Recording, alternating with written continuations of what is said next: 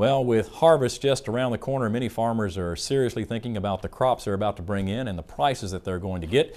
Joining us now with this week's bottom line is Neil Melancon. And Neil, of course, uh, a lot of farmers have to be concerned about the price for the crops they're about to bring in. Well, Mike, especially since we've been talking about this big corn crop that's been coming in, that in turn is going to mean lower prices. Now, some of that has been mitigated by the USDA announcing it's going to take a new look at corn acres, and some trade estimates are calling for a half million acres less of corn than previously thought.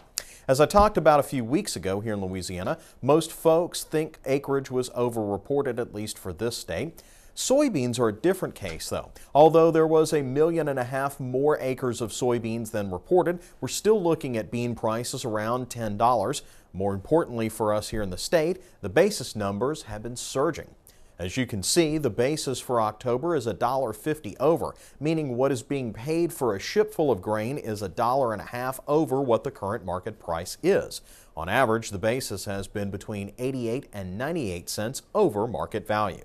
Now, the bottom line is this is in October, a time when harvest is almost done and we'll have the most supply of beans we're going to have in the year. Remember all the trouble Argentina and South America in general had with their crop? Well, we're finally starting to see the end result, which is they are running out of beans, and the U.S. will be the only game in town, or more accurately, in the globe. This will mean bean prices will see a good deal of support through the winter, especially when the basis is factored in. If you can store it, you're probably going to get a good bit of money, at least through March, Mike, when, uh, when they'll have the bean crop coming in from South America.